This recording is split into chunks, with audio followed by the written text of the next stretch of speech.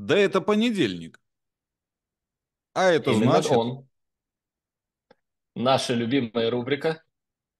Привет, Андрей. Привет, Андрей.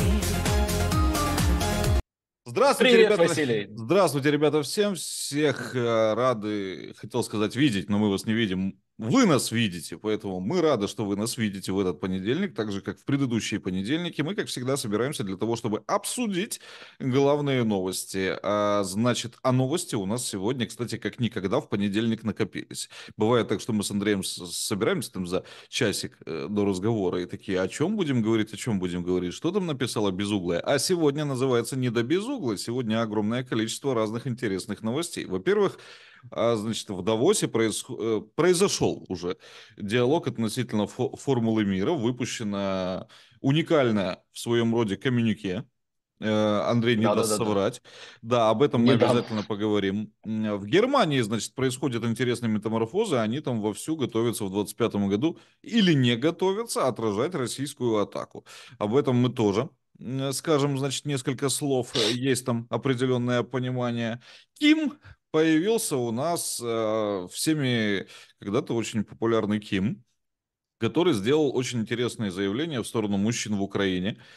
А какие именно заявления и почему он считает, что не все должны жить полноценной жизнью, э, разберемся, значит, в рамках сегодняшнего разговора. Ну и еще несколько интересных новостей, которые давайте уже по ходу будем с вами вместе обсуждать. Поэтому вы э, подписывайтесь на канал, если вы не подписаны, ставите лайк обязательно для того, чтобы видео набирало наибольшее количество просмотров. Вот, и пишите в комментариях э, то, о чем вы думаете по ходу нашего разговора. За это будем весьма благодарны. Также не забываем, ребята, написать и отметить, слышите ли вы меня лучше, потому что я вот, э, для- скажем так, купил себе гаджет, специальное устройство, передающее звук, э, чтобы вы меня лучше слышали, потому что многие жаловались о том, что что-то, что-то со звуком у нас не сильно профессионально. Теперь мы вот вроде бы купили, напишите, пожалуйста, в комментарии, насколько улучшился звук в стриме. Вот, Андрей говорит, что... Друзья, я сильно. ничего еще не купил, я еще ничего не купил. А все почему? Потому что вы не перешли прошлый раз на канал Легист, не оформили подписку, не оформили спонсорство, даже кофе не выставились. Кстати, там опция появилась. А вот Василий за полтора года наших стримов накопил. Молодец! Я вижу тебя дороже, я тебя вижу дороже, ощущаю дороже. Друзья, подписываемся на канал Легист, обязательно ссылочка будет в описании, поэтому это сделать очень просто. А еще в описании будут реквизиты, благодаря которым мы выходим непосредственно в эфир и остаемся независимыми э, самыми на свете в рамках своего YouTube канала. Поэтому выходим благодаря вашей поддержке, стартуем. Итак, Yes. Итак, какой бы ты хотел отметить самую главную новость на текущий момент, Андрей? Не в Швейцарии ли она?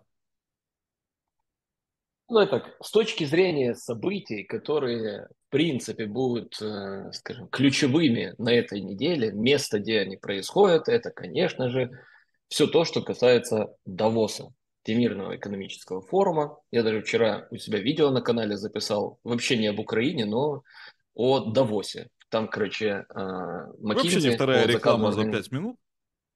нет, а почему? На самом деле не реклама, а просвещение. Я так считаю, нужно это воспринимать.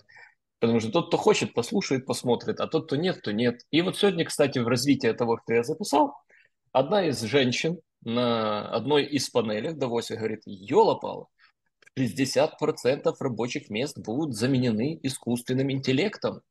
А в том видео, которое я записывал, а записывал его по материалам документа, который подготовила McKinsey по заказу организаторов этого Давосского форума, там в искусственном интеллекте говорят, для мировой экономики это плюс в среднем от 2,5 до 4,5 триллионов долларов роста ВВП.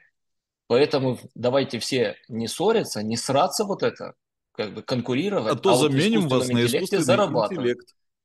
Нет, давайте просто на этом зарабатывать, никто никого заменять не будет.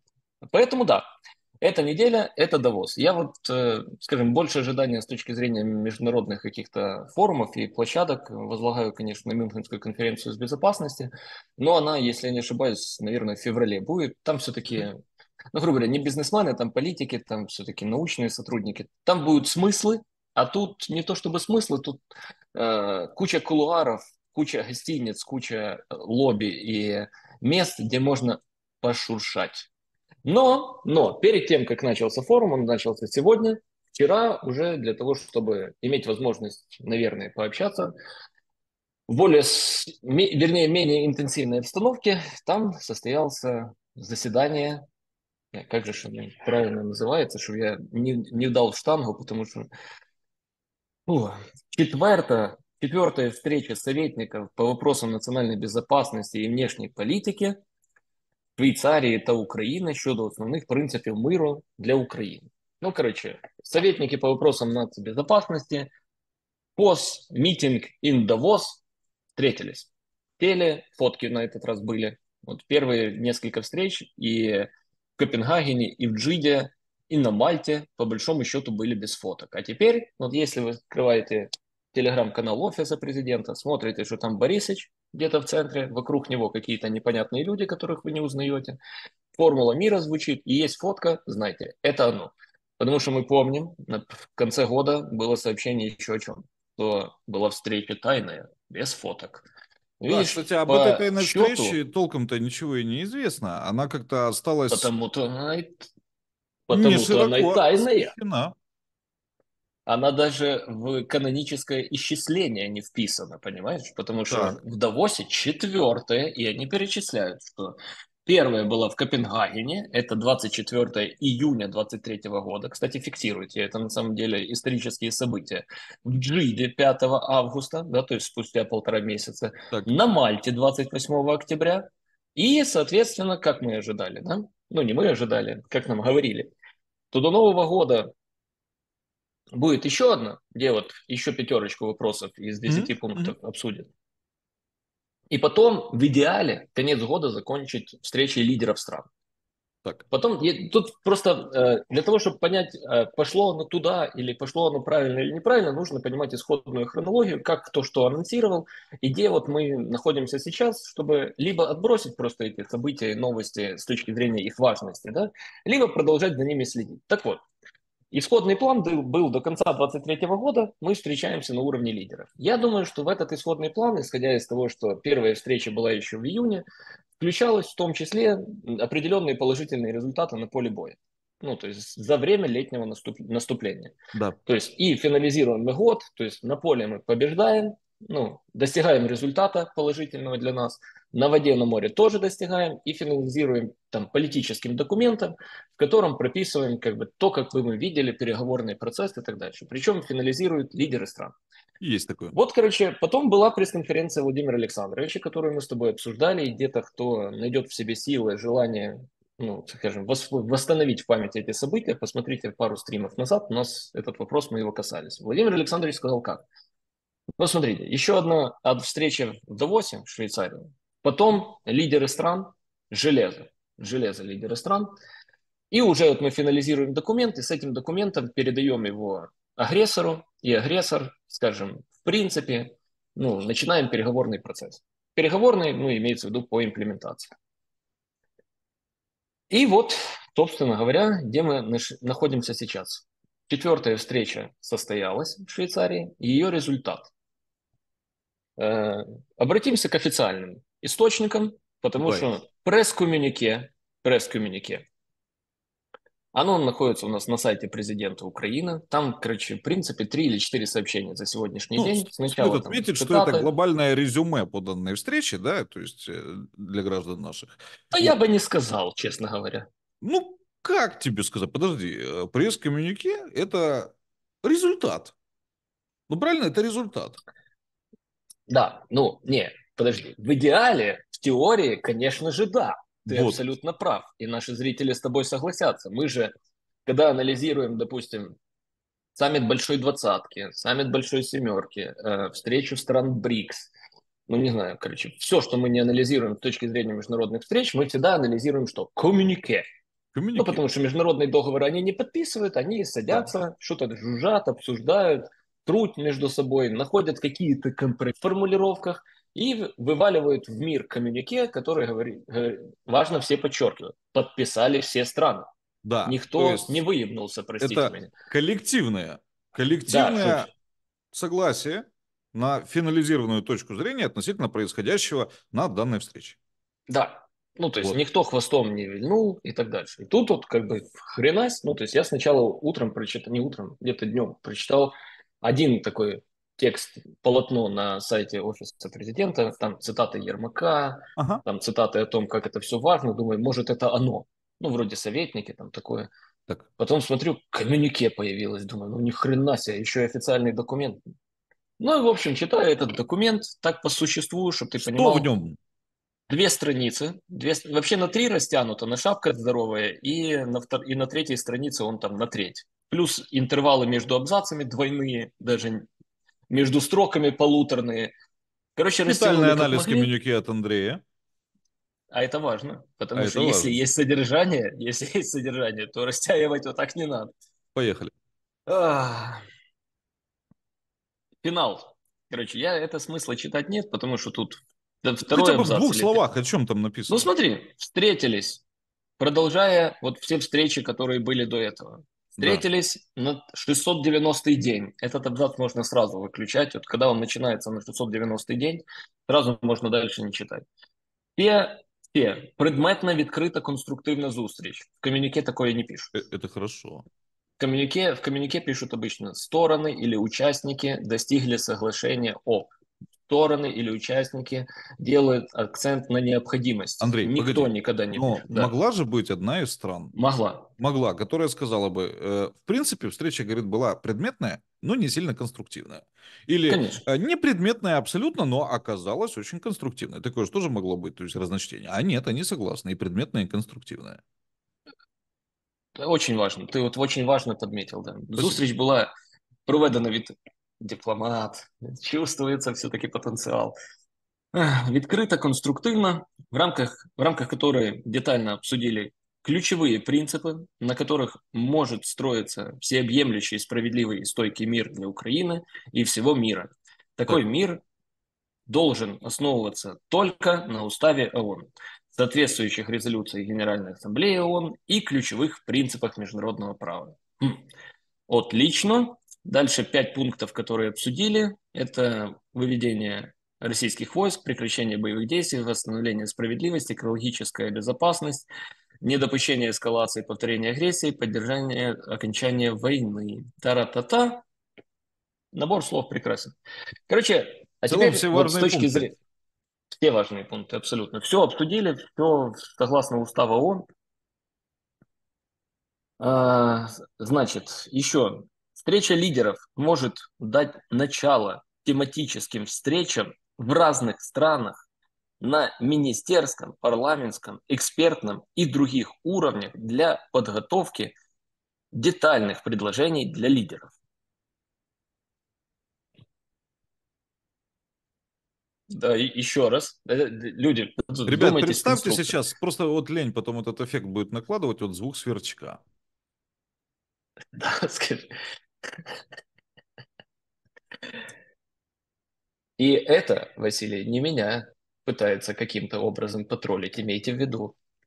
Озвучивающий текст не виноват в том, как составлен этот текст. Тут я полностью с тобой согласен. Подожди, я не сильно понял. То есть э, это были подготовительные встречи для того, чтобы все-таки в итоге выйти на встречу лидеров, которые начнут заниматься подготовительными встречами или как? А лидеров, которые вот дадут старт процессу, встреч на министерском, парламентском и других уровнях, чтобы подготовить им же, тем, кто даст старт процессу, предложение по имплементации. Ага. Короче, э, я просто напомню, опять же, почему мы начали с тобой издалека. Мы Да. пытаемся у людей систематизировать знания, да? Как- Да. пыта- ну, как-то их устаканить. Фраза была следующая. Советники. Кто такие советники по вопросам национальной безопасности? Ну, типа Джейкоб Салливан в Соединенных Штатах. Это ни хрена себе должность. В некоторых вопросах покруче Блинкина. И типа, если допустить себе в голове, что этот человек недостаточно компетентен, чтобы предложить предложение для президента Соединенных Штатов, то президент Соединенных Штатов не будет какого-то проходимца ставить на должность советника по вопросам нацбезопасности. Однозначно. Ну, как бы с учетом его полномочий. Это, ну, в некоторых вопросах, я считаю, это человек, наверное, второй в стране, потому что вице-президент, в зависимости от того, какой вице-президент. Ну, на тему Камалы Харрис номинально, может, она и вторая. Там, типа, ну, хотя там, ладно, есть Конгресс еще и так дальше. Да? Ну, тем не менее, с точки зрения близости к президенту. И говорить о том, что вот этого уровня недостаточно советников по вопросам национальной безопасности. Давайте начнем с другой стороны. То есть мы с вами шли в рамках алгоритма. Советники, лидеры. Угу. То есть советники это близкие люди, которые там плюс-минус не ограничены полномочиями, они могут ничего не комментировать, но вы им пиздец все доверяете, потому что они важные люди. Ну, да. Ермак не даст соврать, он у нас тоже, считай, почти советник по вопросам нацбезопасности президента. Не Данилова ж отправили на секундочку, да, то есть все, все прекрасно понимают. То есть и непосредственный ход к президенту. То есть советники, лидеры подписали, поехали. Цитаты Владимира Александровича. Алгоритм теперь вот, А теперь алгоритм меняется. Оказывается, советники, лидеры, и давайте начинать обратно. После лидеров снова парламентарии, министры, советники и снова лидеры. Может быть, а может и нет. Угу. Что нас возвращает к тому, что исходная формула советники, лидеры стран, документ, переговоры потерпела э, сокрушительные фиаско. То подтверждается в документе последней фразой, написанной курсивом, мелким шрифтом, я напомню, речь идет о пресс-коммюнике от 14 января 2024 года, Давос, Швейцария. І заканчивается оно словами. Це комюніке не призначене для відображення позиції кожного з учасників на русском. Это коммюнике не, не предназначено для отражения позиции каждого из участников. Вопрос. Внимание, внимание, вопрос что это за коммюнике. Следующий такой подход закончится тем, что на следующей встрече, если она будет и когда она будет, если, если она будет и когда она будет, ну как, когда скорее, часть стран отвалится и не приедет. Ну или может отвалиться и не приехать. Скажет, подождите, мы с вами достигли какого-то соглашения? Мы с вами вычитывали документ, который называется коммюнике? Нет. Может, Наши ж, как обычно, хитрят, понимаешь? Коммуникеш, как, как написано, как написано в шапке. Прес-коммунике співголів. А хто у нас співголови? Це перший абзац. Четверта зустріч радників з питань національної безпеки та зовнішньої політики Швейцарії та України. То есть, по большому счету, этот пресс-коммюнике, ну, на что наши хитрецы и, скажем, ловкие дипломаты будут апеллировать в коммуникации с другими участниками, они скажут, mm-hmm. хм, так мы же не за вас писали. Это так Швейцария, Украина, просто вот как спив головы, оно ж не распространяется на вас. Так тогда вопрос, кого вы хотите наебать этим, прости меня, пресс-коммюнике? Хороший вопрос. Смотри, а, на данный момент уже появилась реакция и в западной прессе относительно данного момента. Ну, не конкретно коммюнике, а по встрече. И в давай целом пос... встречки. Да, давай посмотрим, что об этом пишет, например, Times. Как бы э, не вечерний Житомир, но тоже вроде бы авторитетный источник. Извините, там никого не хотел оскорбить из вечернего Житомира. А, значит, переговоры в Давосе по э, мирному плану для Украины были отмечены растущим участием незападных стран, но ограниченным прогрессом на пути к миру. Об этом пишет издание Financial Times. Далее цитата как бы из издания. Для западных чиновников национальной безопасности, присутствовавших на переговорах, главное достижение было простым. Более крупная и разнообразная совместная фотография, чем в прошлый раз. Так отметили Financial Times. Присутствовали представители 83 стран, 18 из Азии, и 12 из Африки. На предыдущей такой встрече на Мальте в октябре было 65 стран, то есть количество участников расширилось. Но, как пишет Financial Times, а, на решение, но решение Китая, самого важного союзника Москвы, не участвовать в мероприятии, подорвало его значение на старте.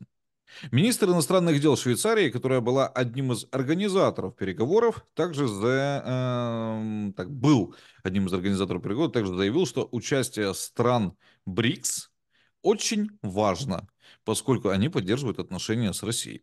Официальные лица заявили по итогам переговоров, что некоторые страны глобального юга подтвердили свою позицию, что Российская Федерация должна быть вовлечена в переговоры а урегулирование должно учитывать ее проблемы безопасности. Такие желания Украины, э, такие как желание Украины присоединиться непосредственно к НАТО. Ну и, конечно, у нас разные мысли о том, как можно достигнуть мира. Некоторые считают, что необходимо немедленно сесть за стол переговоров с Россией, сказал об этом господин Ермак. Вот это то, что написала Financial Times, значит, по данным данному мероприятию. Если честно, если честно, новость, конечно, серьезная, издание серьезное, но в ней, кроме количественного показателя, я так смотрю, а, акцента по большому счету ни на чем-то и нет. Единственное, что можно сказать, что не было Китая, а без Китая как-то это все ну, медленней едет, отмечают э, в западной прессе. И о том, что некоторые говорят о том, что нужно туда каким-то образом вовлекать Россию в эти переговоры. Так, там даже, там даже не, э, скажем, не некоторые. На выходных была новость, по-моему, в субботу просто, не в воскресенье, а в субботу, о том, что кто-то из министров Швейцарии, Швейцарии сказал о том, что, ну, как бы, необходимо, ну, то есть это была именная цитата, ее разносили в СМИ, говорили, что, что это, как это разговаривать типа о мире без России. Ну, то есть это прямая, прямая цитата, о которой говорят типа в голос. Ну и все. Поэтому ты абсолютно прав с точки зрения того, что форма и содержание, они расходятся вот так. По форме то, о чем мы можем прочитать у нас ну, на, в наших официальных источниках информации. К сожалению, вот эту форму мы пытаемся массово всунуть в головы наших граждан, не признавая то, что по содержанию лажа Почему? Потому что, блин, каждый канал, который вещает ну, в эфирном, скажем, формате, не Ютубе, а именно эфирном формате, берет официальный пресс-релиз сайта президента, который начинается со слов 690 дней, 80 стран участников, расширенная география, всемирная поддержка – Дальше они не дочитывают. Вот так детали даже с документами. Ну, это ж несложный анализ. Типа, да, ну, тут не надо, короче, читать этот документ прям сильно. Но если ты натренирован, mm-hmm. то в глаза бросается. Типа, одна настыковка, вторая, третья. Ты говоришь, да это хуй, э, простите. Ну, в общем, говоришь то, что это есть на самом деле. То есть рациональный, нормальный, критический с точки зрения э, содержания анализ приводит к выводу, к выводу, который, собственно говоря, должна артикулировать официальная власть. Но людям берут форму, говорят, 80 стран, было 60. О, класс. В свое время, я вот не помню, что Кулебов в своем твиттере считал, то ли тех, кто гарантии Украине должны дать, то ли тех, кто к формуле мира присоединились. Но он там счетчик вел. Типа 31 страна, 29 стран. Куда счетчик делся? Ну, то есть, и даже ну, участие в переговорном формате, суть переговоров, вы нахрена собираете столько людей, да, столько стран. Для того, чтобы сказать, смотрите, мы вас один раз позвали, второй раз позвали, вы должны вот то, что мы написали, подписать.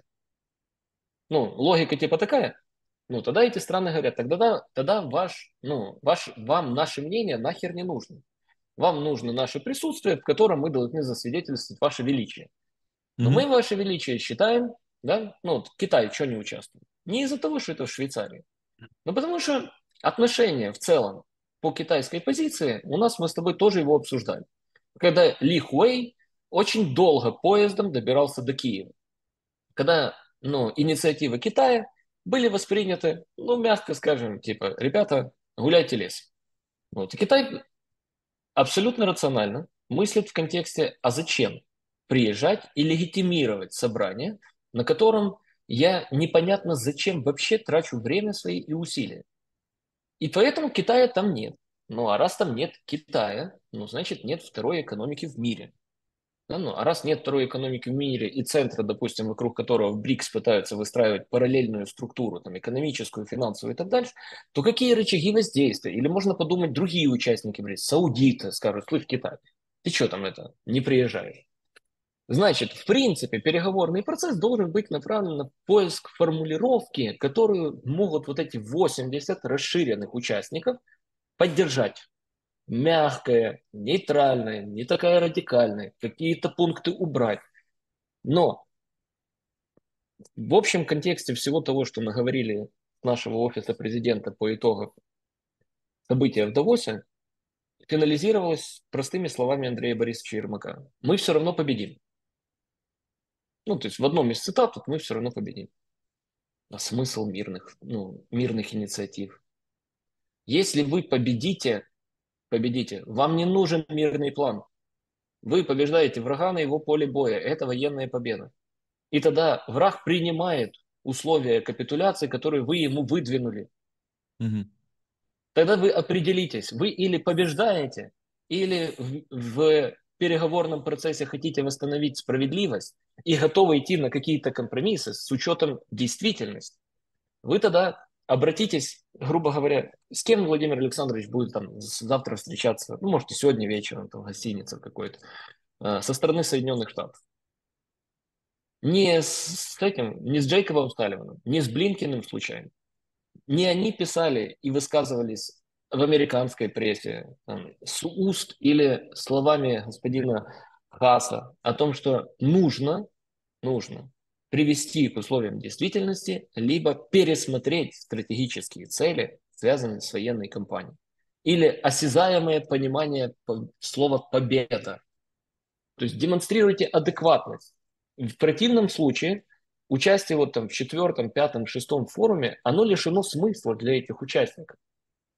Ну, потому что, ну, как бы, в чем, в чем, во имя чего? Вот я тебе сейчас еще один фрагмент прочитаю. Давай. Специально себе вырезал его тоже с офиса президента на тему вот этих всіх ініціатив. І якщо держава-агресор реально демонструватиме бажання завершити цю війну та повернутися до поваги до міжнародного права, ми для такого моменту матимемо цей спільний мирний план. Давай на русском. И если государство-агрессор реально будет демонстрировать желание завершить эту войну и вернуться к уважению международного права, мы для такого момента будем иметь этот общий мирный план. Вывод. Так. Опять концепция поменялась. Мы его что-то наработаем, что-то наработаем. Непонятно, как подпишем, с кем подпишем. Ну, по идее, государство. Никому передавать не будем. Никому передавать не будем. Вот он, он просто будет. Mm-hmm. Вот этот документ, он просто mm-hmm. будет. Он не повлечет ни на кого никакие обязательства. Ну, он не международно-правовой, он просто вот такой. Пош, пошумели, план типа, вот как коммюнике, подписали с пивголовыми. Да, да. Ну вот русские, вы его потом когда-то или примете, или не примете. Ну и русские такие посмотрят, не примем. Угу. Ну и все.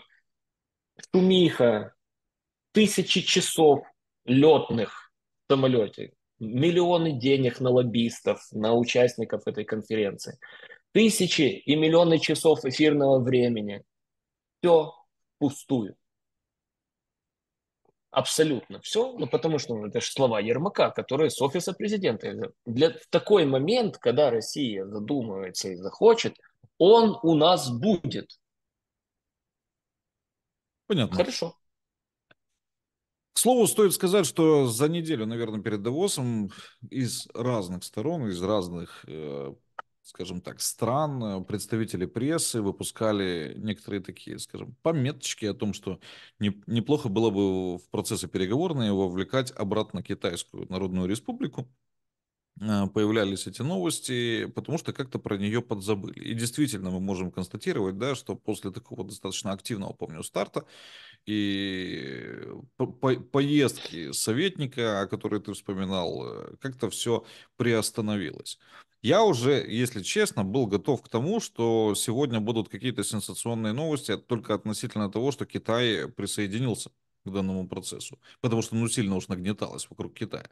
Однако это не случилось. И вот в западной прессе, в контексте даже статьи Financial Times, говорят, что это подорвало скажем так, авторитетность данного мероприятия. Насколько оно подорвало и подорвало ли, судите, в общем, граждане сами. Слушай, а было что подрывать? Ладно. Не знаю, не знаю.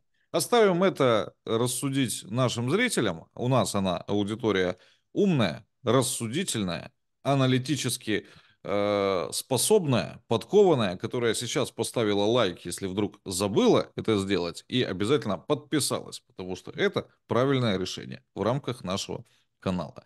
А мы движемся к другой новости, причем э, к другой новости, которая повергла в шок, наверное, не нас с тобой, вот, не нас с тобой, а вот этих вот, знаешь, которые просыпаются с утра, говорят друг другу гуден так, а потом себе на греночку вот этот фарш сырой мажут, и вот они открывают эту газету, газету Бильд такой, Бильд они открывают, вот этот фарш так берут, здесь у него пиво утреннее, и он так читает, и у него так просто на секунду должен был зависнуть, у него так фарш так ляп вниз. Потому Пиво. что там ни хера себе чего написано. Это вам не шуточки, это Бундесвер готовится к атаке Путина. Пишет об этом газета Бильд. Представьте себе. Тут стоит как бы да. разобраться, о чем конкретно. И значит, э, как передают нам эту новость? Э, то, что германская армия готовится к вооруженному конфликту против России, следует из секретного документа, который появился, значит, в Министерстве обороны Германии пишет газета. Что в этом секретном документе значится? Ну, ребят, тема реально не шуточная, как бы для немцев, я уверен. Значит, э, уже в феврале этого года может произойти, возможно, эскалация отнош... Э, по отношению, значит, между НАТО и Россией. Это учебный сценарий, в котором шаг за шагом, месяц за месяцем описывается, как будет действовать Владимир Путин и как НАТО придется защищаться от э, там, провокации, нападения, то есть в каком виде это будет непонятно. Значит, по сценарию, который описывает газета, Россия запускает очередную волну мобилизации и призывает в армию дополнительные 200 тысяч человек в феврале 2024 года. Тут, грубо говоря, через месяц. Далее весной Кремль начнет масштабное наступление в Украине на фоне недостаточной поддержки Запада.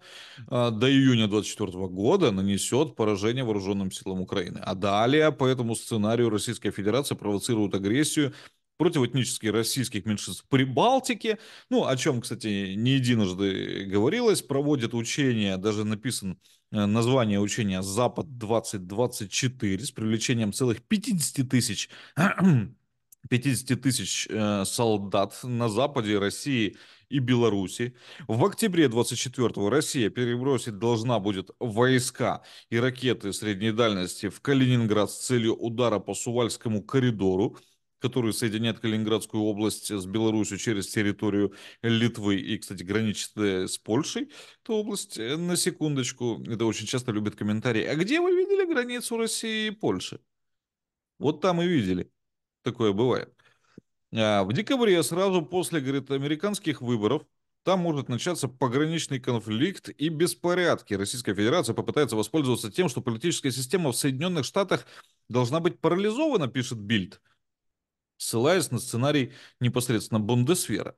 Ну и в январе 2025 года Польша и страны Балтии соберут заседание Совета НАТО и заявят э, о росте угрозы со стороны Российской Федерации, которая в марте перебросит дополнительные войска в Беларусь и границам Прибалтики.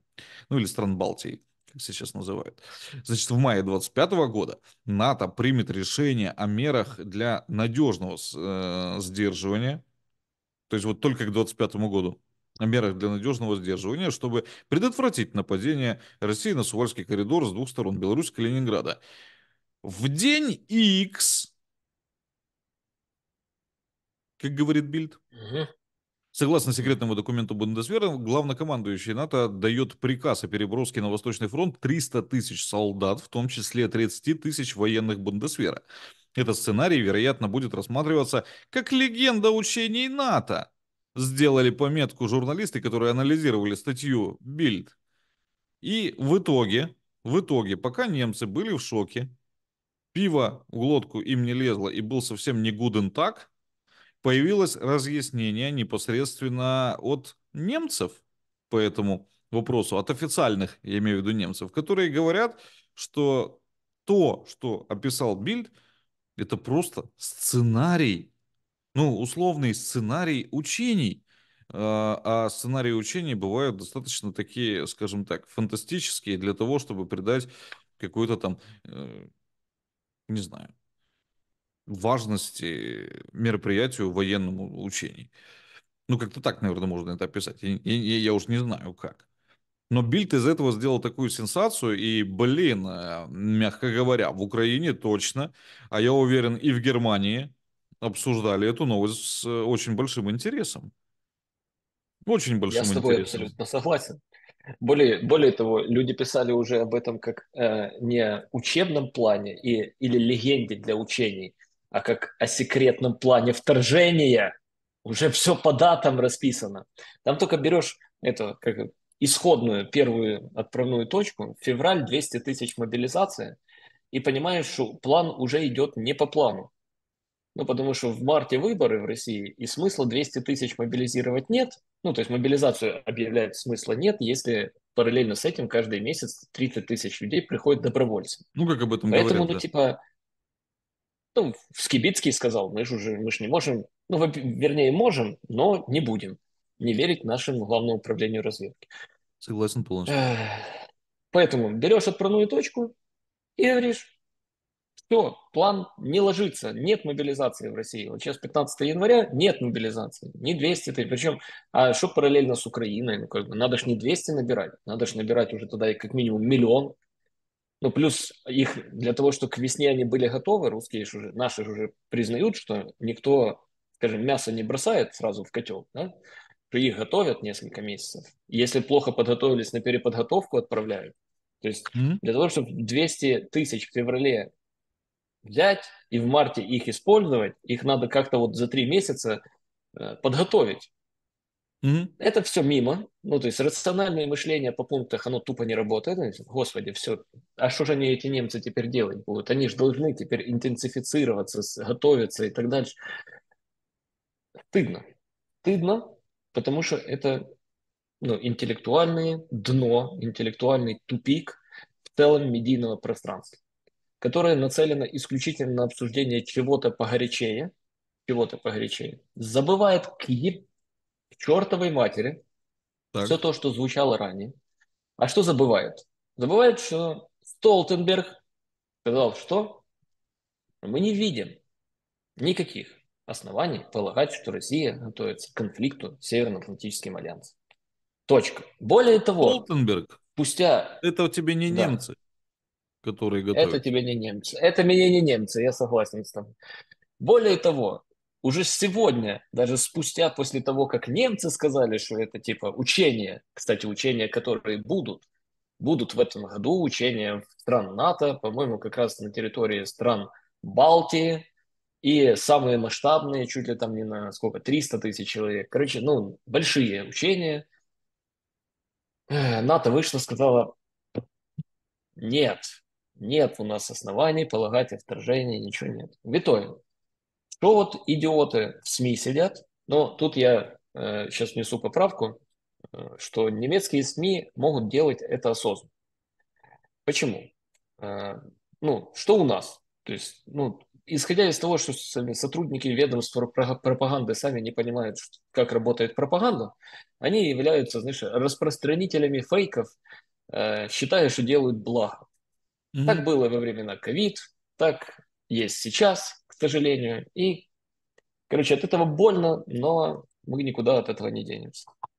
Почему в Германии может появляться подобный план? Во-первых, мы получили отчетность годовую по их экономике. Минус 0,3% роста ВВП. С учетом падения во времена ковид, э, они практически, считай, с 2020 года, ну, их экономика не растет. И в текущем году, ну, фактически она будет, скорее всего, что снижаться, пр- продолжать снижаться с учетом инфляции дальше.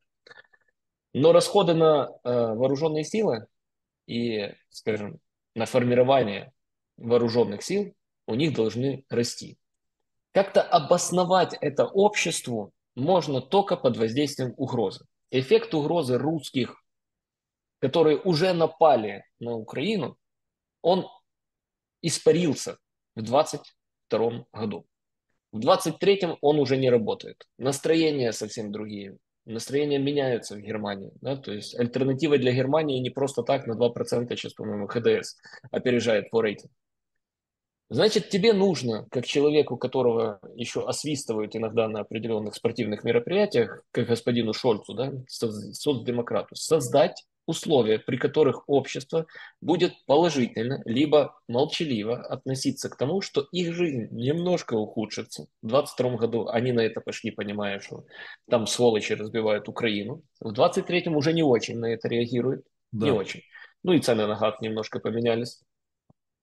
Плюс есть огромные проблемы у них в сфере занятости и высвобождению работников с релацированных предприятий, которые уезжают и в Китай, и в Вьетнам, и в Соединенные Штаты. С занятостью там реально будут и есть проблемы. Беженцев и, и мигрантов тоже никто не отменял. И тебе надо объяснить, почему это все. И ты берешь эту бильд, ебильд, и говоришь, слушайте, ребята, смотри, а план есть, чтобы немцы поняли, что мы же не просто так тратим сейчас деньги, а мы тратим деньги для того, чтобы не допустить того, чтобы немцы сами воевали. Или нам нужно укрепиться и потратить деньги не на соцэконом, а немножко на армию. Поэтому что движущая сила подобных мероприятий? Страх. Поэтому, когда у вас вываливается фарш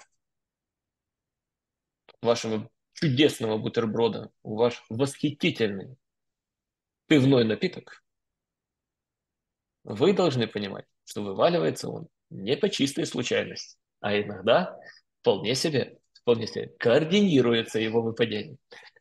Так можно смотреть на эту ситуацию, и, в принципе, на месте тех стран, которым предстоят и выборы, и экономические сложности, и необходимость возвращаться к политике расходов на вооруженные силы, от которой они отказались там несколько десятилетий назад, и воспитали общество, которое категории война, э, там отсутствие пива утром, она не мыслит, да? возвращать ее к какую-то среду той действительности, которая ну, циклично возвращается. Конфликты, неопределенность, цепочки поставок, которые разрушаются, и так дальше, и так дальше, и так дальше. Как это сделать иначе? Когда ты развил механизм, раньше это можно было в приказном порядке. Ну, ну одна газета, три митинга, отдельные отношения, все с завода, все в армии. У нас, ну, грубо говоря, капитализм, частный бизнес, глобализм, э, общество потребителей, в котором существуют сети, социальные сети, медиасети, телевидение и так далее. Вы с ними работаете. То есть вы направляете общественное настроение в, ту, в том направлении, которое соответствует государственной политике. Не так, чтобы объясняя, почему это важно, потому что объяснять оно не всегда работает. Да? Человек не, ну, преимущественно ему не свойственно сложное мышление, а вот эмоциональное как раз подходит. Эмоциональное какое? Страх. Все вот ваше пиво, фаршмаки и так дальше, оно накроется медным унитазом. Поэтому потерпите в один день пост, а мы за вот тот один день купим какое-то количество танков. Ну, это грамотный подход к, скажем, направлению социальных настроений. Если он будет последовательным. А он и будет последовательный, причем не только в Германии. Я думаю, что ну, в Соединенных Штатах постоку поскольку, но тем не менее тоже им придется сейчас объяснять э, обществу, почему будут высокие расходы именно на модернизацию промышленной инфраструктуры и так дальше и тому подобное. Поэтому то, как мы это воспринимаем, мы украиноцентричным взглядом смотрим на этот план и говорим, все, теперь то это они точно поймут, что надо Украине помогать. Просто отбрасывая все рациональное мышление, для чего это может быть, в какой прессе оно написано, под, э, фин, под финансирование, под решение о выделении средств, типа, все Ты сбросили, знаешь, только в пользу для нас. Иногда очень сильно удивляет, как умудряется наша, ну, я, я считаю, что, в принципе, распространила эту штуку все-таки наша пропаганда. Так вот, как наша пропаганда умудряется ловить новости чужой пропаганды и выкручивать их таким образом, чтобы оно было выгодно показывать у нас с какой-то совершенно другой мыслью, не с которой задумывалась непосредственно эта новость. Вот, это, это, это реально уникально, к сожалению, или не знаю, наверное, к сожалению, все-таки это происходит уже не первый раз. И можем сказать, что, наверное, где-то от этой новости, может быть, и в Литве, и в Латвии как-то тоже использовалась она в своей истории местными политиками, да, там, что чуть-чуть и там обосрались. Ну, а резюмируя, резюмируя, мне кажется, надо сказать, что, ребят, э, всегда смотрите чуть шире, потому что любые учения в любой стране всегда подразумевают определенный сценарий. Сценарий э, не всегда реалистичен, но для выполнения учения он как бы необходим. Легенда такая. Вот она и здесь была, которую подняли до уровня, скажем так, всеобщей осведомленности, да, а человек, э, скажем, не относящийся к данным учениям, а попросту не военный, это все воспринимает совершенно не так, как воспринимает военные на учениях. И поэтому, поэтому у кого-то из немцев там добавилось седины э, наверняка. Друзья мои, а сейчас на секунду прервемся от выпуска для того, чтобы я сказал вам очень важные вещи. Большое спасибо за то, что в 2023 году вы были вместе с нами. Это позволило нам стать намного лучше, чем ранее. И в 2024 году мы хотим стать еще круче. Поэтому продолжайте нам ставить лайк, подпишитесь обязательно те, кто не подписался по какой-либо причине еще на наш канал. А мы знаем по статистике 60% смотрят нас регулярно, но без подписки. Пишите комментарии, наибольшее количество, сколько сможете. Это помогает нашему каналу продвигаться на площадях YouTube. Ну и все эти лайки, репосты, комментарии. Ну и конечно, конечно, конечно, для тех, кто оформит платную подписку, особенная наша с кисточкой, потому что вы помогаете становиться нам круче как можно быстрее. Для тех, кто хочет поддержать канал, есть реквизиты. Приватбанк, Монобанк, PayPal, Wise. В общем, все вы знаете. Будем благодарны. Выходим благодаря вашей поддержке. Возвращаемся. Короче, таким вот образом я бы Вернемся к нашему... Э, да, я согласен с тобой. Теперь к нашему южанину, я так понял, да? А, хочется поговорить о господине Киме, но не тот, который Ким Чен Ын. Но тезисы не у север... них схожи. Не северный, а наш. Не Николаевский. Северный, не северный.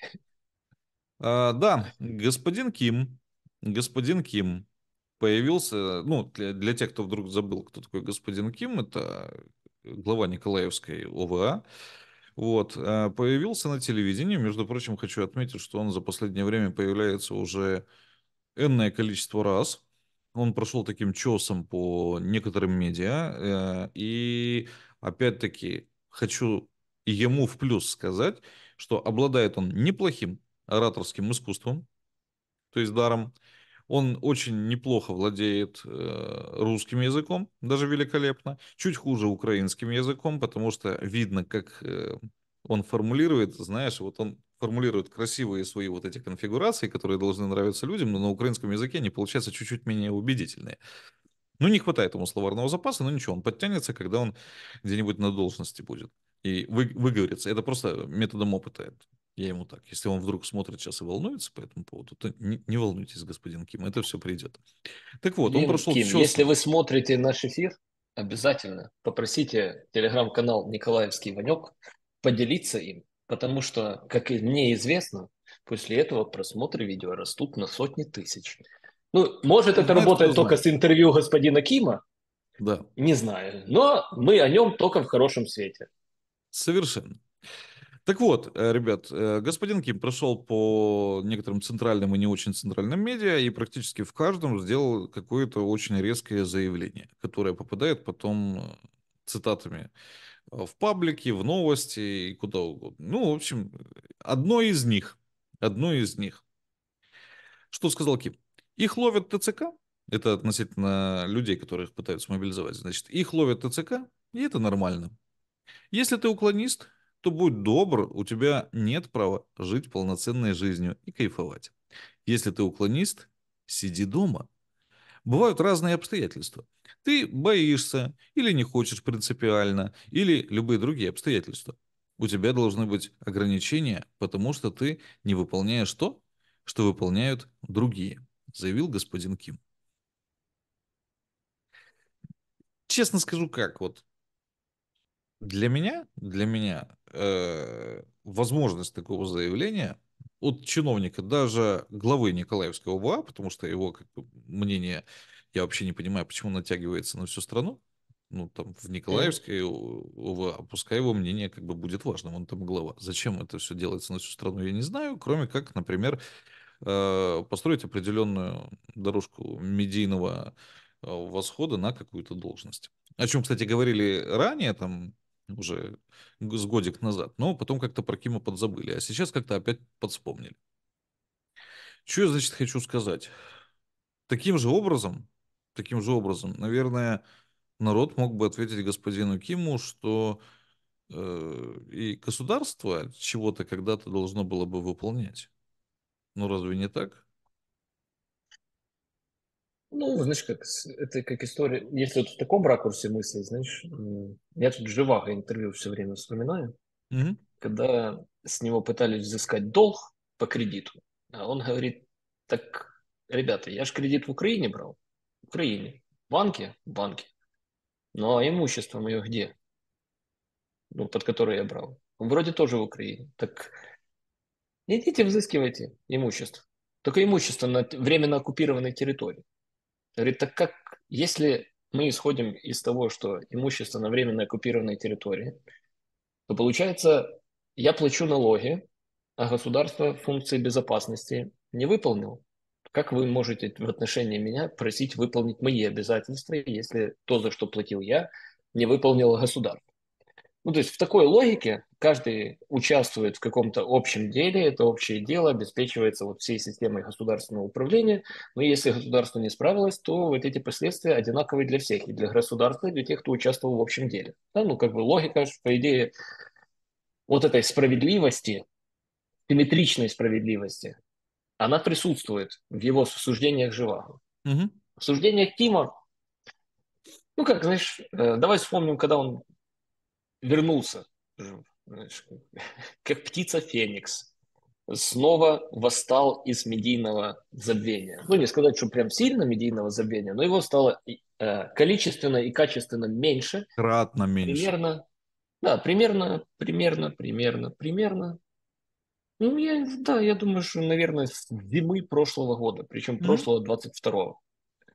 Тот момент, когда вот начали опять начать рейтинги мерить, узнаваемости, и вот в тот момент, когда Арестович и Ким примерно стали любимыми э, потенциальными отцами для детей наших женщин, Кима куда-то делся. И не будем мы с тобой кривить душой, обратимся к прекрасному сайту «Украинская правда», среда, 27 декабря 2023 года. Это результаты опроса Дем-инициативы Илья Кучи, Кучерева mm-hmm. или что-то такое. И кто у нас, где у нас Ким? Владимир Александрович Зеленский. Доверие 71%. Ким В 65. Кулеба 56. Притула 55. И Подоляка 52. Подоляк. Я, я не сделал ошибку в том, как прочитал. Ага. И ну, Подоляка столько... А? Да. Суть другом. Ну вот и все. Ну, то есть, э, суть в другом. Ну, это же не первый рейтинг, ну, вернее, не один. Я просто первую ссылку забил да, и попытался к концу года ее подтянуть. Кому доверяют из той команды, которую можно назвать командой Владимира Александровича? Ну, Кулеба типа и так пределе. А, ну, о премьер-министре мы не говорим. Типа о других министрах тоже нет. Но с точки зрения идеологов нашего прекрасного офиса президента, ну, военные им не союзники в части рейтингов. Mm-hmm. Они, наоборот, находятся в какой-то конкуренции с ними. Значит, что нужно? Нужны люди, которые владеют... Коль уж президент не может ну и Кулеба тоже не будет ссориться с Залужным, да, нужны люди со стороны слух народа офиса президента, которые имеют уровень поддержки со стороны общества, ну, по крайней мере, где-то чуть выше 50%. Так. Подоляка и так работает, бедняга. Я не знаю, как он наработал на вот это 52%. Мне кажется, тут все-таки чуть-чуть как бы где-то где палец скользнул по клавиатуре, короче, когда набирали цифры, знаешь, и вот чуть-чуть ошиблись. Но больше у него уже не будет, будет только меньше. Чем больше он будет э, недоразвитыми, скажем, не вполне адекватными признавать других международных партнеров, тем больше у него будет этот соответствующий рейтинг. Но, э, по большому Но. счету, людей не пределе, ну, то есть не в той политике, который, за которую ответственен президент, но которые могут комментировать сложные темы, такие как мобилизация, либо отношения с военными, да, в пользу офиса президента их немного. Их в принципе нет. Ну, чтобы они были и узнаваемы, и Мгм. симпатичные, и вроде бы репутация нормальная. Ну и поэтому добрый день, господин Виталий Ким, приезжайте в Киев и пойдете. Куда там? По Исландии, по «Мы Украина». Я не знаю, на Раду он зашел, не зашел, тоже, наверное, зашел. Сейчас еще пару блогов каких-то появится. Может, с Гордоном пройдется по улицам Киева. И вот он, и он озвучит подобного характера тезисы, которые по своему существу, по большому счету, э, оправдывают понятие справедливости в его новом прочтении. В новом прочтении как по отношению к тем людям, которые находятся за границей, тоже шахунисты. Налоги хотя бы платили бы, да? или дома сидели. И тем, кто в Украине остается и находится. Что вы, а какие у вас, э, какие у вас права на тему критики изменений законов по мобилизации? Вы, ваше дело и ваша задача сидеть дома и молчать. Ваше социально приемлемое поведение, коль уж вы не в окопе, сидеть и молчать. Но есть момент, что те, кто в окопе, они тоже не молчат. А что с ними делать? Ну и для них Ким как бы не совсем авторитет. Ну то есть попытка заткнуть рот э, э, нашему сообществу, я, я не буду себя отделять, да, э, диванных экспертов, которые тут к праву апеллируют, к принципам, говорят, что это плохо, хорошо, М. не в армии. Иди в окопе. Ну, не сидишь в окопе, сиди, короче, дома и молчи. Потому что что? Партия знает, что делает. И тебе это авторитетно заявил кто? Ну, блин, ну Ким. А Ким что? Кима 70% ему доверяют. А тебе сколько доверяют? А тебе сколько доверяют? Кто ты? Кто ты? Короче, херово это все выглядит со стороны. Ну, может, дело в формулировках, может, он совсем другое доносил, но вот этот э, условный пакт, который существует в России, не надо его попыта- пытаться интерпретировать в Украине. Вы знаете, пока ну, бояре себе там занимаются государственными делами, вас не трогают, сидите и молчите. Ну вот с точки зрения того, что сказал Ким, выглядит примерно так же. Но у нас страна чуть-чуть другая. Нужно понимать социальные, культурные, дем- демографические процессы в стране, исходные.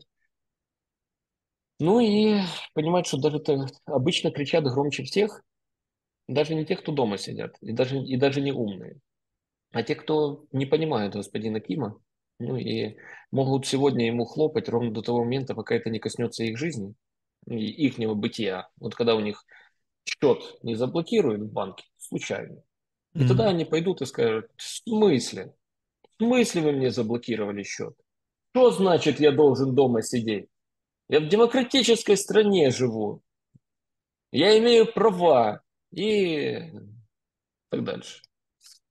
Тут, знаешь, э, Вот, вот вся эта ситуация очень сильно похожа на какой-то такой вот, э, опять-таки, непродуманный э, пиар-ход, по моему мнению. Почему непродуманный? Потому что если бы мне надо было найти кого-то, у кого по-прежнему сохраняется плюс-минус неплохой рейтинг доверия среди граждан, да, и кто не является сильным раздражителем, вот, и сделать так, чтобы его рейтинг максимально уронить достаточно короткий период времени. Ну, то есть, все, все же, наверное, уже знают, у нас же уже подкованная аудитория, что существует рейтинг и существует антирейтинг. И э, у одного и того же человека одновременно может быть и высокий рейтинг, и высокий антирейтинг. Так вот, э, те, кто поддерживали господина Кима, они сейчас немножечко подпросядут, а антирейтинг вырастет значительно. Потому что те, кто на него вре- э, внимания большого не обращал, или, в принципе, не придавал большому значению там слежку. Утвердятся в всем, мысли, что правильно делали. утвердятся в мысли, что неправильно делали. А теперь он является, ну, то есть раньше они не его не замечали, то есть им не интересно было, а теперь он для них будет являться определенным раздражителем. Тут стоит вспомнить, что э, когда господин Кличко, например, киевский градоначальник, тоже по большому счету коллега все-таки Кима, да, потому что чуть-чуть э, на другом уровне, но тоже занимается делами завхозовыми. Ну что, КМДА, да. Ну да. Э, Так вот, когда господин Кличко пытается играть в политику, э, хотя стоит отметить, что у него ораторские способности несколько ниже, нежели у господина Кима, ну, Но зато мимика богатая. зато богатая мимика, это факт. Вот, когда он пытается играть в политику, ему э, оттуда сверху постоянно намекают, мол, ты мужик завхоз, Ты занимайся делами завхозовыми. Вот. А когда Ким пытается играть в политику, а тут мы видим, что не только в политику, еще и в пропаганду, да еще и претендует на то, чтобы быть совестью народовой, вот, а, ему тоже, наверное, в принципе, неплохо было бы напомнить, что, в принципе, он завхоз. Он завхоз. При этом мы с тобой отметим, я смотрел с Кимом одно интервью. Да. По-моему, летом прошлого года. Это э, радио «Свобода» его брала, Даша Кудимова в Николаеве. Угу. И все то, что касается хозчасти, ну, финансово-хозяйственной деятельности, ну, часть с точки зрения функционирования портов, э, жизнеобеспечения предприятий, он не глупые вещи говорит. То есть он вполне себе осознанно, ну, с пониманием того, что где-то он когда-то был в бизнесе, да. возможно, и будет дальше. То есть тут процессы ему близки, он как бы понимает проблематику. Э, с точки зрения политики и участия в пропаганде, знаешь, вот я ему не сопереживаю ни в коем случае, но с другой стороны где-то и понимаю. Понимаю алгоритм поведения. Ты начал взлетать там, с носками на столе, короче, и так дальше. Ну, людям нравится. Люди успокаивались как-то вот. То ты, то Арестович выскочит. Как бы. Да, да, Подоляк в тот момент не был, не был особо умным. Вот он со временем поумнел, наверное, как раз книжки сидел, читал. Вот. И в тот период, когда ты вроде вот на пике, на тебя берут и говорят, нет вас больше. Ну, в публичном пространстве. Нет. И вас нет. А потом вам звонят и говорят, слушай, ну ты же ты же часть системы, часть. Хочешь, не хочешь, приезжай. А, не, а неким больше дырки закрывать. Ну вот просто покажите мне людей, ну, новых приобретений в команде, которые могут сейчас в условиях искусственно и глупо созданным самостоятельно конфликта между военным и политическим руководством, в условиях, когда оживает парламентаризм оппозиционный. Вы же не воспитали за эти два года каких-то лидеров внутри фракции, даже не медийно, а с точки зрения там, событий каких-то, это что тоже воспитывается, которые бы имели ну, какой-то процент симпатии со стороны людей. И вы, вы выбираете вот со своего поля, вот этой грядки, министров вас вообще никто не знает. Никто. Премьера тоже никто не знает. В офисе президента 5-6 менеджеров, которые, принципе, благодаря активистам и общественным журналистам там тоже уже клима негде ставят. Ни на одном, ни на втором, ни на третьем. Ну разве Лещенко уже не работает? Удивительно. И вы, а у вас, и никто с вами дело иметь не хочет. Что самое главное. То есть вот это же очень ну, интересная знаешь, ситуация, когда можно же обратиться к людям, сказать, что ну, давайте как-то совместно что-то делать. Mm-hmm. А вам не верят. Вот в том-то и дело, что а делать когда? После того, как вы полтора года удушили все везде и подмяли под себя, начинать с вами совместно что-то делать? Это справедливо. Справедливость по-новому. Или не поним, понимая то, как можно потом быть брошенным и выброшенным, это справедливость, тоже по-новому. Так вот вы, вот в этой, на самом деле, огромной грядке всего у вас есть, у вас остался Ким. Ну вот вы Кима юзаете, приезжай. Можно же, конечно, даже легенду придумать, что вот это здание он подписал восстановление Николаева, потому в Киеве приехал, и потому тут кути. Базара ноль. Ну, то есть датчане до того, они, по-моему, покровительство над Николаевым брали, ну, то есть шествие mm-hmm. над городом по восстановлению uh-huh. и так дальше, и там делегации постоянно работали, он сам об этом интервью рассказывал. И ничего там нового, сверхъестественного подписывать такого грандиозного не надо было, чтобы, знаешь, придумывать легенду прибытия в Киев и дачи интервью. Есть. Но суть интервью на телемарафоне, где стоит ведущий, понятый, если я не ошибаюсь, очень уважаю журналиста, он грамотный, толковый, опытный, но надо понимать, надо понимать место, где он работает. Ну, у него спикер, который говорит, слушайте, те, кто сидите дома и не дергайтесь.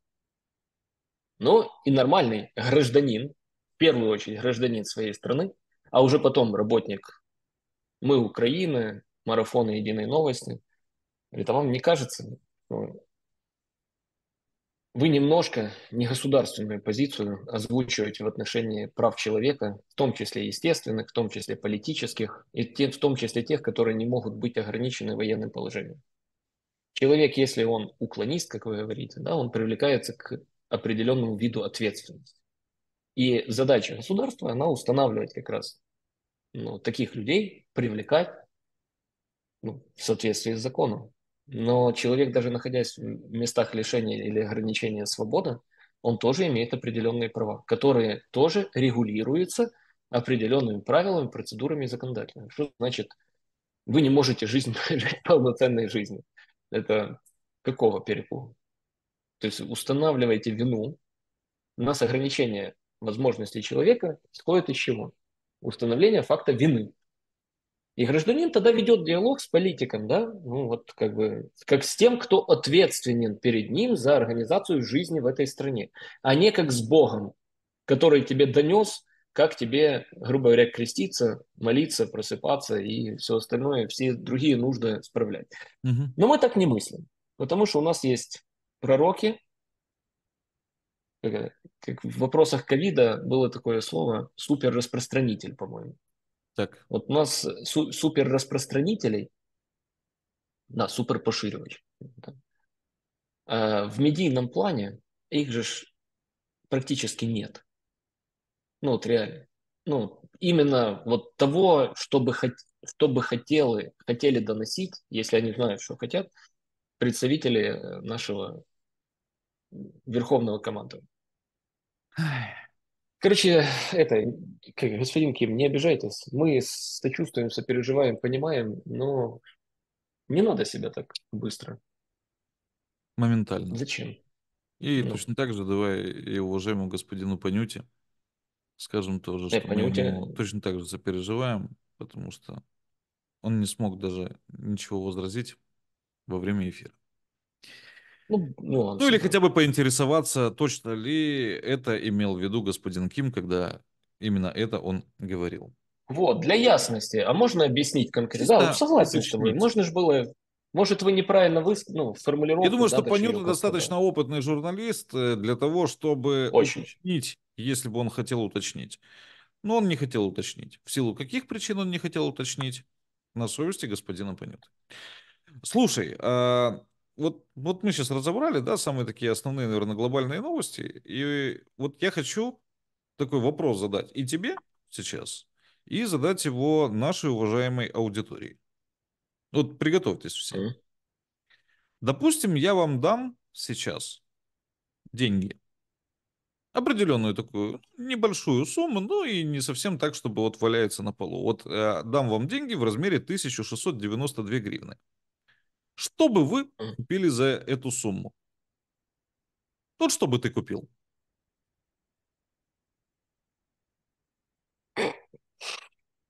Неожиданно, согласись. Блять, я ж не знаю, как разгуляться с этим праздником жизни. Ну давай так, ну что можно купить на 1692 гривны э, полезного? Э, 30 литров бензина. 30 литров бензина. Еще. Плюс-минус. Так это не полезно, это расходы. Ну, то Не, есть ну 1000 все равно гривен это полезно. расходы. Ну, то есть это важная покупка, нормальная. Что Ну, еще можно согласен, купить? да. Ну, Продуктов чуть- чуть можно больше, купить? чем 30. Ну, на 4 дня, да. На 3, 4 дня можно купить продуктов. Вот. Ну или еще что-нибудь. За Но у, коммуналку. меня, но у меня пока и бак полон, типа, и это, не знаю. За коммуналку Ну, можно я- заплатить было бы, но, правда, коммуналки-то у нас побольше. О, наперед, за- наперед заплатить за этот, как его, за тепло. Оно За все равно тепло. будет дорожать, поэтому за тепло Вот. вперед заплачу. Вот. А, ёп, налог заплачу этот, единый. Да, там как раз, по-моему, подняли, э, да, минималку же подняли, единый, а, блин, я уже заплатил. Короче, за февраль, авансом за февраль бы заплатил. Авансом за февраль можно заплатить себе налог. Ну, то есть это такая дос- достаточно небольшая, но полезная сумма денег, за которую что-то можно сделать такое вот ощутимое. И за эти деньги в минуту государство делает кое-что ощутимое. Сейчас расскажу, что. А, Оказывается, что, ребята, ребята, одна минута трансляции канала Рады стоит для вас и нас, плательщиков налогов, 1692 гривны. Тендер на производство программ для телемарафона без конкурса выиграла компания, которая, как намекают в некоторой прессе, э, связана с экс-заместителем главы офиса президента Кириллом Тимошенко. Значит, что случилось? Телеканал «Рада» э, выбросил тендер, а грамотнее говорить, э, выставил на конкурсные торги.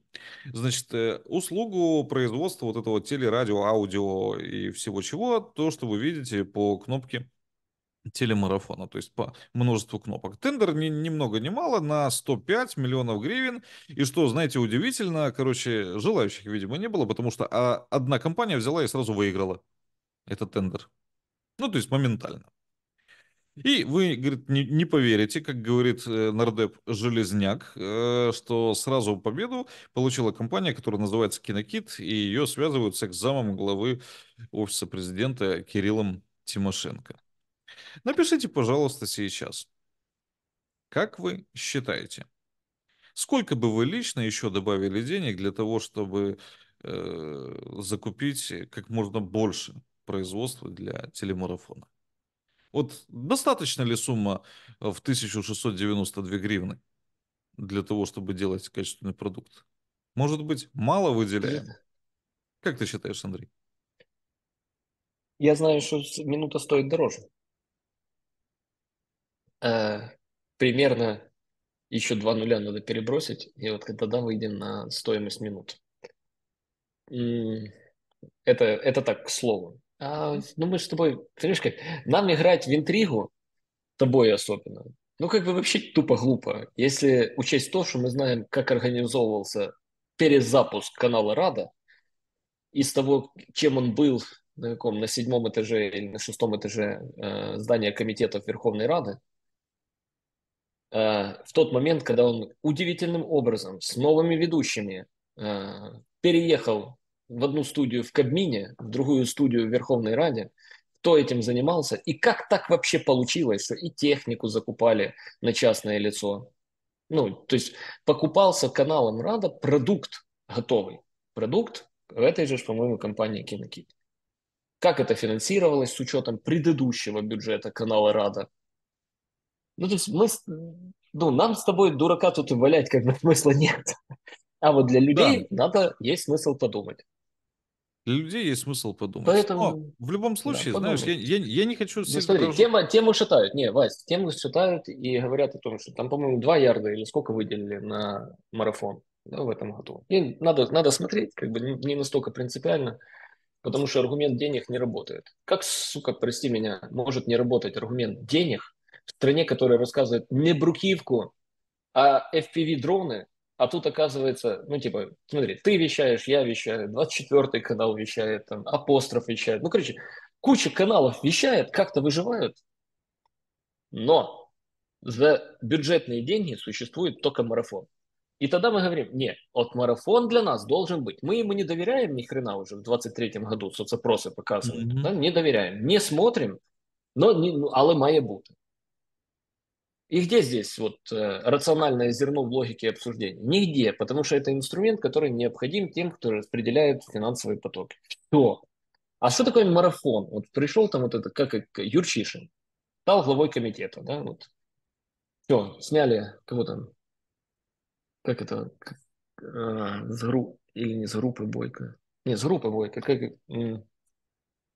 когда, кого посадили? Кто был главой комитета? Шуфрича, что ли? Туфрича. А, ну... Туфрича закрыли. Кстати, а как у него, как там продвигается уголовный процесс по Шуфричу? Тоже я про него да? давно уже ничего не слышал. Ну, слушай, там, короче, полномочия... Знаешь, как, не продлеваются, не продел... что...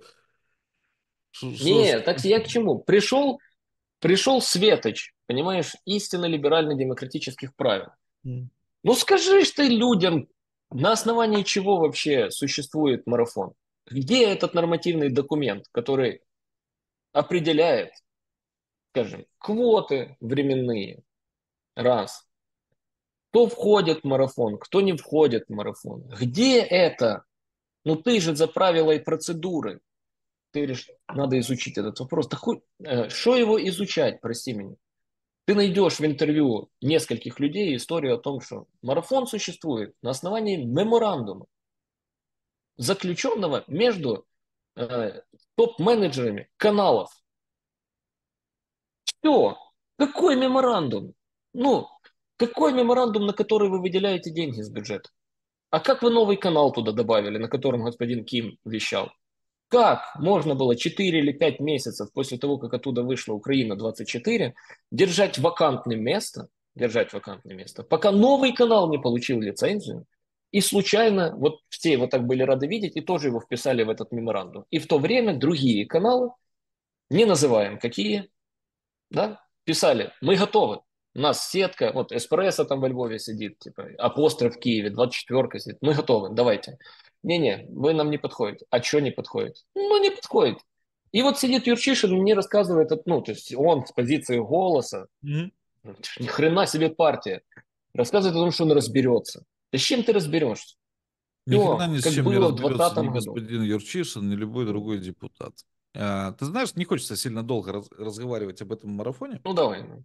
И не хочется сильно долго разговаривать, вот для меня совершенно по другой причине.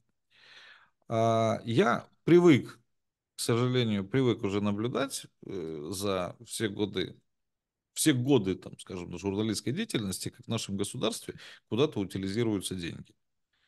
Ну, э, это, знаешь, это процессы, на которые, к сожалению, я мог там раньше чуть больше, сейчас, наверное, чуть меньше мы можем повлиять, потому что сейчас эти статьи являются очень целесообразными, как объясняют.